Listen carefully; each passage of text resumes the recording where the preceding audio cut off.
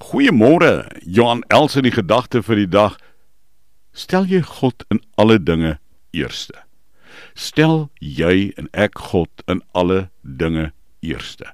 Matteus 6 vers 33 sê maak die koningsheerskappy van God en dit wat voor hom reg is julle eerste prioriteit. Maak die koningsheerskappy van God en dit wat voor hom reg is julle eerste prioriteit. Daar was 'n ou prediker met die naam van uh, Dwight Moody en hy het gesê die wêreld het nog nie gesien wat God met vir deur en in 'n man of vrou sal doen wat volledig en geheel en al aan hom toegewy is nie. Jy weet as jy en ek bereid is om jouself aan God oor te gee, is daar geen perke aan dit wat God met jou en my sal doen nie. Geen perke as ek en jy volledig onsself aan die Here ons God oorgee, is daar geen perke. Geen. En ek onderstreep daai geen perke.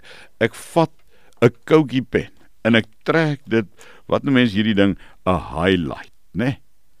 As ek en jy bereid is om onsself aan God oor te gee, is daar geen perke aan wat God deur 'n mens soos ek en jy kan doen nie. Sterkte vir jou dag.